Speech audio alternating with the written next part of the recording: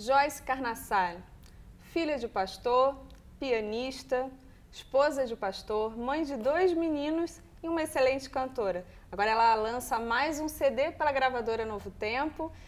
Então, Joyce, como é que é esse desafio que está vindo para você agora? Eu estou muito feliz, Patrícia, muito feliz. Esse CD foi um, um CD que eu quis muito que acontecesse e eu demorei né, bastante para que ele saísse.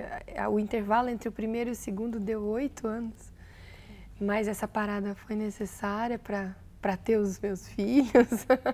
então eu estou assim com grandes expectativas para que a mensagem principal dele chegue no coração das pessoas. E a mensagem principal é a graça. Isso Como mesmo. é que foi para colher esse material, escolher as músicas, os compositores para fazer o CD? Assim, sem, sem querer e sem nem pensar que poderia haver um segundo CD, eu fui juntando algumas músicas, pedindo para alguns amigos, ó, oh, vou cantar lá num programa tal, eu queria uma música nova, estou enjoada das minhas músicas.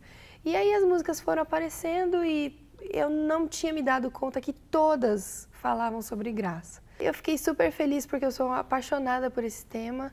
Sei que a gente vai é, passar a eternidade inteira tentando entender o amor de Cristo por nós. Não vamos nem conseguir porque a gente tem a mente muito finita e sabemos que o amor de Deus é algo que, que não cabe. A gente só tem que aceitar mesmo essa graça.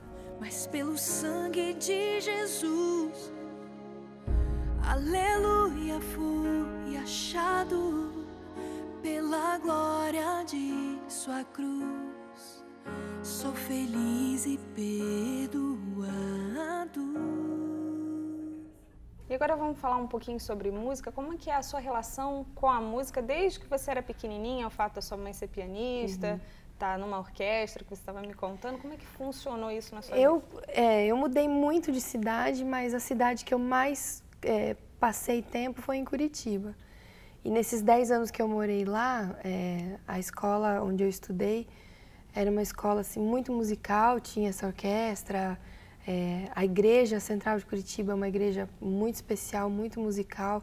Minha mãe sempre esteve envolvida com grupos e, e Ministério da Música.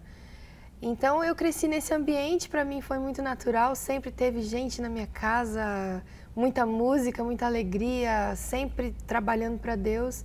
Então para mim foi uma coisa muito natural. E depois quando eu fui ao colégio, IASP, né, que é o nosso UNASP Campus 3 hoje, eu fui lá interessada principalmente na música, né, em, ingressar no coral e, e, poder fazer parte. O colégio interno faz um pouco isso com é, os estudantes. Tem... Se você tem um tino para música, você acaba se envolvendo cada vez é, mais. Principalmente esse colégio que era que é um colégio assim muito voltado para o esporte, para a música.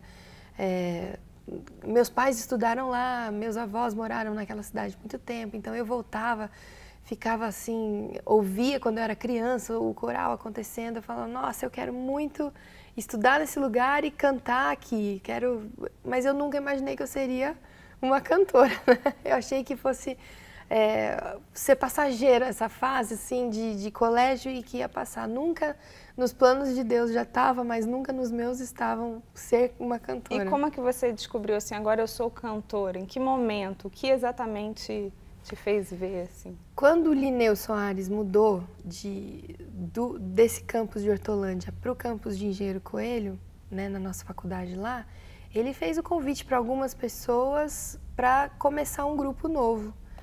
E o Tom de Vida pertence ao IASP, e aí ele começou ali no campus 2 o grupo Novo Tom.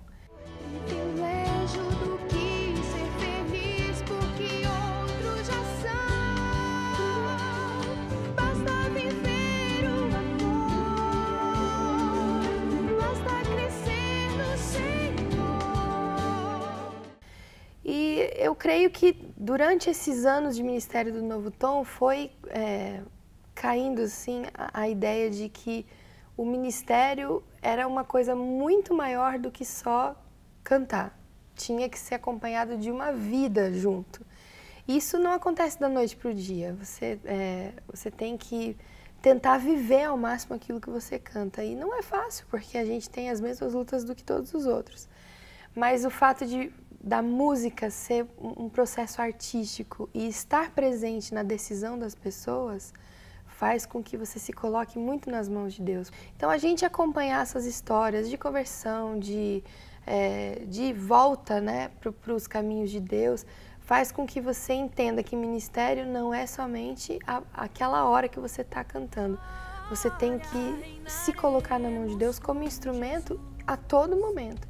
E não só para quem canta, para qualquer pessoa que serve a Deus, você tem que se colocar na mão dele para ser um instrumento. Não há limites para o Deus eterno, ele vai além